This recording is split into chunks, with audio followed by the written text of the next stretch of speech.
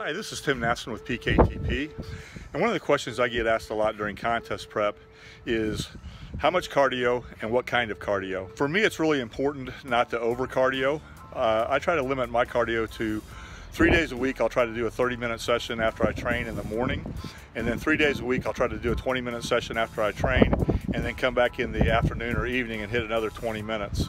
Uh, when the weather finally breaks like it finally has in, in, the Midwest and I can get outside, I prefer to do it outside. Today I did about 30 minutes of hit cardio on the track, jogging straightaways and walking curves and that's kind of that's kind of my recommendation for cardio. It depends a lot on what your goals are as to specifically how much cardio you want to do. For me, I want to try to preserve as much muscle tissue as I can, so I, I limit my cardio because no matter what you do, you are going to burn muscle tissue during cardio. So I try to keep mine to, like I said, somewhere three days a week at 30 minutes, three days a week, 20 in the morning, 20 in the afternoon or evening. But anyways, that's my recommendations for cardio. Have a wonderful day.